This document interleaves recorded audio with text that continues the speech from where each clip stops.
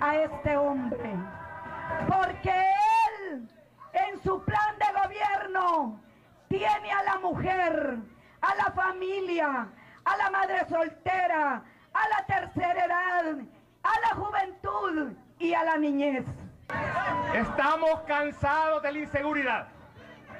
No aguantamos más los asaltos, el avigiato, el robo. Estamos cansados. Es por eso que necesitamos llevar a la presidencia de la República a don Porfirio Pepe Lobo para que ponga orden.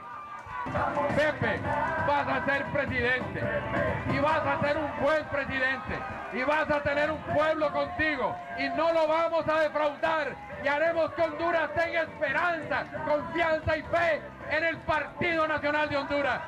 A decirle, Pepe, mi compromiso es contigo, mi fidelidad, fidelidad contigo, mi trabajo contigo, porque yo creo en el Partido Nacional, porque yo creo en Honduras y porque yo creo que Honduras necesita a Pepe Lobo. Hemos recorrido todo el país. Hemos visitado todos los municipios de este departamento. Y le puedo decir, señor presidente, que estamos listos, que estamos organizados, que estamos unidos para convertirlo en el próximo presidente de Honduras. Esa es la emoción que está despertando en todo el país Pepe Lobo que ha unido el, el partido. Dios nos ha proveído una esperanza con Pepe Lobo, un hombre de diálogo, un hombre de reconciliación, un hombre de unificación, que a partir de enero, él, junto al Partido Nacional y el pueblo hondureño, vamos a reconstruir la patria. Vamos a luchar porque los pobres y la clase media tengan oportunidades porque el empresario tenga garantía de su inversión y que lo que genere sirva para redistribuir oportunidades a los que no tienen. Dios nos dio la oportunidad nuevamente de iniciar este nuevo proceso, a donde las elecciones internas y primarias de nuestro partido dijeron Pepe, aquellos te fregaron la vez pasada, hoy vamos nuevamente a ratificar que Pepe Lobo deberá convertirse en el presidente de Honduras. Pero hoy estamos aquí en Choluteca. Hoy que la nación se debate en una profunda crisis. Solo les digo algo.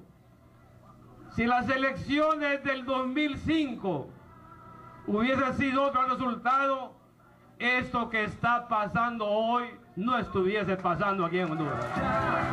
Toda Honduras unida está. hoy se trata de ver el horizonte.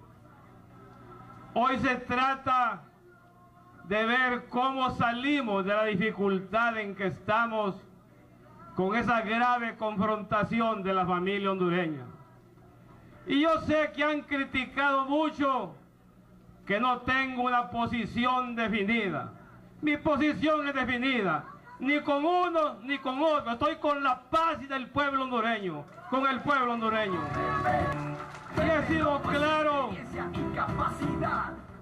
que la única forma de superar la actual crisis que tenemos es dialogando, entendiéndonos. El diálogo es el instrumento más poderoso que tenemos los seres humanos. Y hoy más que nunca se demanda un diálogo que incluya a todos los sectores, porque Honduras es de todo, pero tenemos que ver adelante, no seguir en la confrontación actual. Y mi pedido hoy a ustedes que están aquí en esta gran asamblea en el sur de la República, que están aquí representantes de Choluteca, de Valle y de los municipios del sur del paraíso y decir a toda la nación que nosotros los nacionalistas debemos mantener una actitud muy prudente. Cero confrontaciones ni en la familia nacionalista ni con otros. Traigámosle paz a la nación a todos los niveles.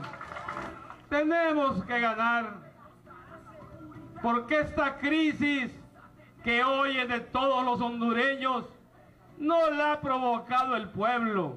Es una crisis que se origina en la cúpula gobernante y los mismos no pueden traerle paz a la nación. Nosotros tenemos que traerle paz a la nación. Quiero decir a los hombres y mujeres que viven en el campo, a mis compañeros productores, hoy es cuando tenemos que prestar nuestro concurso a Honduras. Porque si hay guerra complicada es cuando no hay alimentos. Tenemos que producir alimentos. Y yo sé lo que ocupa el productor. Van a tener el financiamiento adecuado. Van a tener la asistencia técnica. Van a tener los insumos baratos comprados por el Estado para venderlos a bajos precios a los productores. Y le reafirmo en este día a las organizaciones campesinas con que suscribí un compromiso mi compromiso sigue firme con ustedes. El gobierno de Pepe Lobo y del Partido Nacional es para cumplir con el mandato de Dios. El gobierno, el Estado, existe por delegación divina. ¿Para qué? Para impartir justicia, para equilibrar lo que es el bienestar en la nación. El bien común, que es el principio fundamental que tiene hoy el Partido Nacional de Honduras.